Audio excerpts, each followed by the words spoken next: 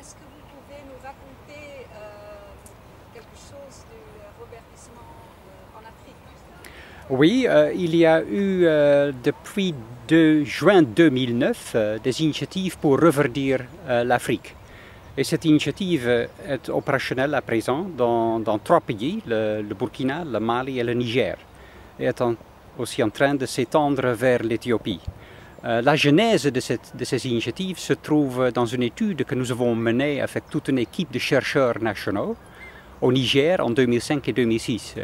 Euh, pendant cette étude qui, euh, qui avait comme objectif d'analyser les évolutions à long terme de l'agriculture et de l'environnement, qu'est-ce qu'il a fait changer entre 1975 et 2005, euh, nous avons constaté que beaucoup de paysans au Niger avaient commencé euh, en 85 à protéger et à gérer la régénération naturelle spontanée sur leur champ de culture.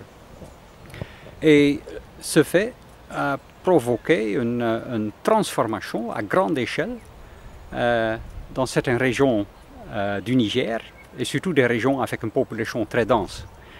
Et euh, le constat est que cette échelle de reverdissement est environ 5 millions hectares et concerne environ 200 millions d'arbres nouveaux. Nous avons regardé ensuite dans d'autres pays, tels que le Mali et le Burkina, pour voir est-ce qu'il y a aussi ce même phénomène dans, ces pays.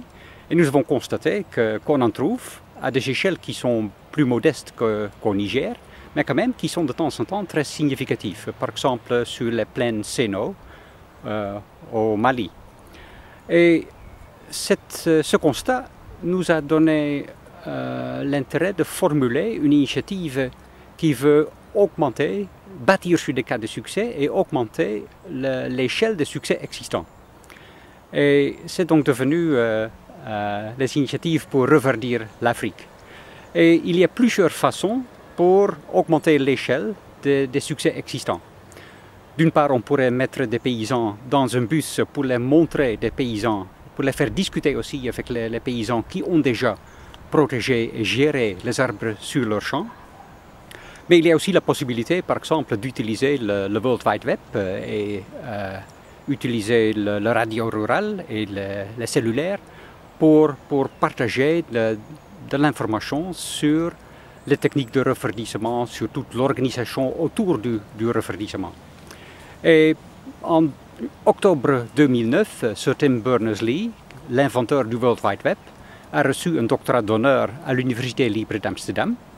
Et euh, depuis octobre 2009, nous avons euh, un projet avec le World Wide Web, euh, avec la Web Foundation plutôt, pour ce qu'on appelle en anglais le Web Alliance for Regreening in Africa, littéralement Alliance Web pour promouvoir le refroidissement en Afrique. Et nous utiliserons tous les moyens modernes de communication pour euh, diffuser l'information sur la régénération naturelle assistée. Et euh, ça, c'est plus ou moins un des, des outils euh, privilégiés pour diffuser l'information et partager l'information entre, entre tous les partenaires dans, dans ces initiatives.